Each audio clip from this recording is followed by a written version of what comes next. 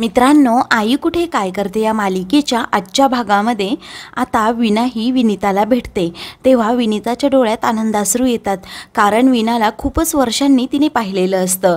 तेव्हा विना म्हणते काय गाग वहिनी मी आता आली आहे ना? तुम्ही बायकांना खूप रडत असता नेहमी इमोशनल होत असता. त्यानंतर आता ती अरुंधतीकडे येते आणि अगदी आश्चर्याने अरुंधतीकडे पाहत तिचे हात पकडत तिला म्हणते अरुंधती अगं मी तुझी खूप मोठी फॅन आहे. मला असं नेहमी वाटायचं की तू मला भेटावीस.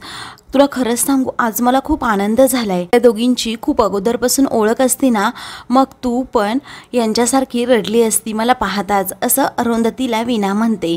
त्यानंतर आशू म्हणतो काय ग तू येणार होती हे आम्हाला का नाही सांगितलं? मी तुला सांगितलंच कोणी की आज अनिश व ईशाची एंगेजमेंट आहे ते? विना म्हणते त्यावर आपण नंतर डिस्कस करू. अगोदर ह्या दोघांना एकमेकांच्या बोटात रिंग घालू देत. बिचारे ताटकळत बसले आहेत. नंतर आता अरुंधती ईशाकडे अंगठी देत. आणि म्हणते अनिशच्या बोटात घाल. तेव्हा ते दोघेही एकमेकांकडे पाहतच राहतात. तर ईशा ही अनिशच्या बोटात अंगठी घालते. सगळेजण खुश होतात. तर आता अनिश हा ईशाच्या बोटात जेव्हा अंगठी घालायला जातो तेव्हा ईशा ही पटकन हात मागे घेते. ती त्याची गंमत करत असते. त्यानंतर ती हात पुढे घेते. तर अनिश तिच्या बोटात अंगठी घालतो. दोघांचाही साखरपुडा संपन्न होतो. सगळेजण त्या दोघांचं अभिनंदन करतात कौतुक करतात. दोघे सगळ्यांच्या पाया पडणार असतात थोरा मोठ्यांचा आशीर्वाद घेणार असतात. तर आता आप्पा म्हणतात सगळ्यांच्या पाया पडण्याची गरज नाही सगळ्यांना एकच तुम्ही नमस्कार घाला. हा घरातील एक एक करून सगळेजण त्या दोघांना आशीर्वाद देतात. तर यश गमतीने बेस्ट ऑफ लक अनिश असं म्हणतो. अरुंधती आणि संजना म्हणतात उगीच अनिशला आता चिडवू नकोस. तर यश म्हणतो आता जेवण करून घ्यायचं का? कारण की मला खूप भूक लागली आहे. विना म्हणते थांबा मला एक अनाऊन्समेंट करायची आहे. आणि आशू तू विचारत होतास ना ते कशी आलीस? तर आता मी तुला सांगते मला तुम्हाला कुणाशी तरी ओळख करून द्यायची आहे. त्यानंतर आता ती अनिरुद्धला पुढे बोलवते. सगळ्यांना आश्चर्याचा अगदी धक्काच बसतो. तेव्हा विना सांगू लागते आशू मी तुला म्हटलं ना की मी इकडे येऊन एक काम करणार आहे. आता ते हेच काम आहे. मी एका चांगल्या बिझनेस पार्टनरच्या शोधात होते आणि अनिरुद्ध देशमुखचं प्रोफाईल मला खूप आवडलं. मग मी त्यांचा इंटरव्ह्यू घेतला आणि मग यांना मी फायनल केलं. आता आम्ही दोघेही पार्टनरशिपमध्ये एक बिझनेस करणार आहोत. तेव्हा हे ऐकताच सगळ्यांच्या पायाखालची जमीनच सरकते. तेव्हा आता संजना मनातल्या मनात विचार करू लागते. अनिरुद्ध मध्यंतरी ज्या इंटरव्ह्यूसाठी गेला होता तो हाच इंटरव्ह्यू म्हणायचा.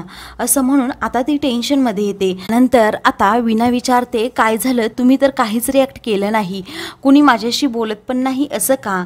मी अशी इथे अचानक आल्याने किंवा अनिरुद्धबरोबर बिझनेस पार्टनरशिपमध्ये केल्याने तुम्हाला काही प्रॉब्लेम तर नाही ना? असं म्हणून आता ती सगळ्यांना पुन्हा पुन्हा तोच प्रश्न विचारू लागते. कुणी काहीच बोलायला तयार नसतं ती म्हणते बापरे मला तर टेन्शन आले आता.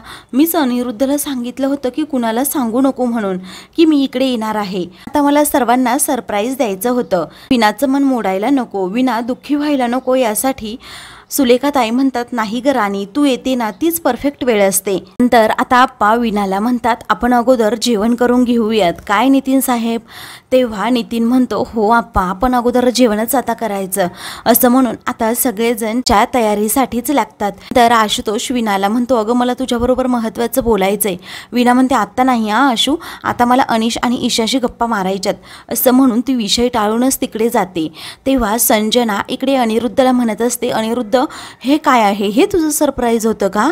त्यावरती तो म्हणतो हो आता तू म्हणू नकोस की हिच्याबरोबर का तू बिझनेस करतो? वगैरे वगैरे. कारण आता मी हे खपवून घेणार नाही. कारण एरवी आशुतोष केळकर बरोबर मी जेव्हा वाईट वागतो तेव्हा तुम्ही तर म्हणता ना इगो बाजूला ठेव. मग बिझनेससाठी त्याच्या बहिणीशी मी एकत्र आलो तर तुम्हाला काय प्रॉब्लेम आहे? तेव्हा संजना त्याला बोलू लागते. निरुद्ध संजनाला म्हणतो एक गोष्ट नेहमी लक्षात ठेवायची. देव जेव्हा अक्कल वाटत होता ना तेव्हा पहिल्या रांगेत मीच उभा होतो. त्यानंतर आता आशूसारखा विना आणि अनिरुद्धकडे पाहत असतो. ते पाहून नितीन विचारतो काय झालं? अरुंधतीही तितक्यात तेथे येते. तेव्हा आशू म्हणतो मला ना विनाबरोबर थोडं बोलायचं आहे वेगळ्याच काहीतरी फिलिंग्स येत आहेत. कारण विनाच्या येण्याने आणि अनिरुद्धच्या ह्या अशा बोलण्याने मला आता प्रश्न पडलाय. विनाला अनिरुद्ध बरोबर बिझनेस करायचा आहे की नाही?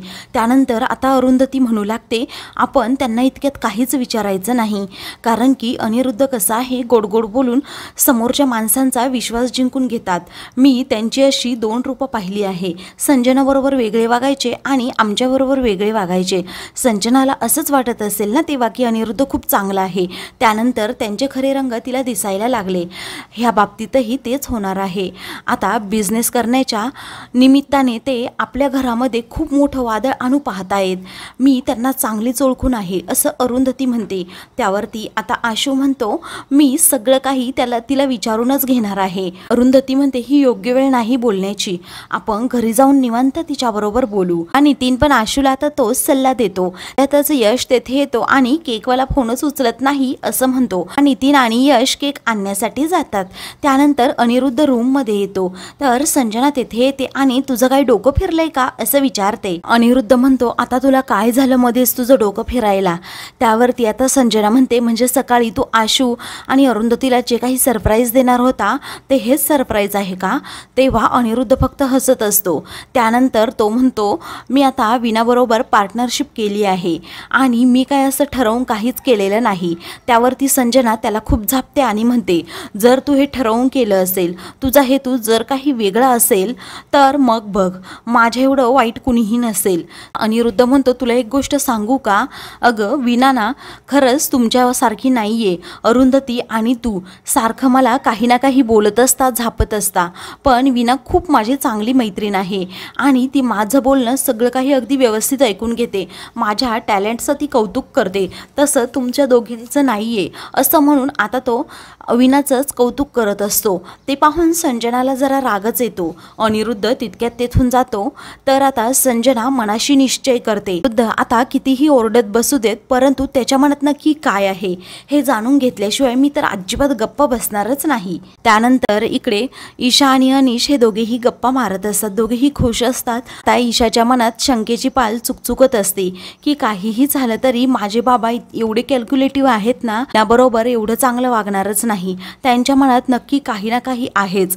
तेव्हा ती अनिशला जशी भीतीही बोलून दाखवते तेव्हा अनिश म्हणतो तू ना ईशा काही पण विचार करत असतेच आज आपला दिवस आहे ना? मग आज आपण फक्त आपलाच विचार करायचा. अगं आजूबाजूला बघ ना जरा ईशा. सगळं काही केलंय ना ते आपल्यासाठी केलंय तुझ्यासाठी केलंय स्पेशल तेव्हा ईशा म्हणते माझ्यासाठी नको म्हणू रे. आपल्या दोघांसाठी केले असं म्हण. ते ऐकून अरुंधती खुश होते कारण ईशामध्ये बदल होताना सतत ती पाहत असते. त्यानंतर आता यश हा केक घेऊन येतो. हॅशटॅग अनिशा त्यावर नाव लिहिलेलं असतं. तेव्हा ईशा ते पाहते तिचे डोळे पाणवतात ती सगळ्यांना थँक्यू म्हणते. आणि स्पेशली यशला. यश म्हणतो आता तू फक्त थँक्यूच म्हणणार आहेस का? त्यानंतर आता ईशा आणि अनिश हे दोघेही केक कापतात आणि एकमेकांना केक भरवतात. त्यानंतर विना आणि अनिरुद्ध पुढे होतात. त्यानंतर आता अनिरुद्ध एक केकचा पीस घेतो. वेलकम होम असं म्हणून तो तिला आता केक भरवणार असतो. तर घरातील सगळेच जण आश्चर्याने त्या दोघांकडे आता पाहू लागतात. तर आता मित्रांनो पुढील भागामध्ये बाबांचा बिझनेस मीच सांभाळणार आहे असं विना आशूला म्हणते. तेव्हा आशू म्हणतो ठीक आहे. तेवढ्यातच अनिरुद्ध हे सगळं बोलणं ऐकतो आणि म्हणतो आता आशुतोष केळकरला विचारण्याची गरज नाही.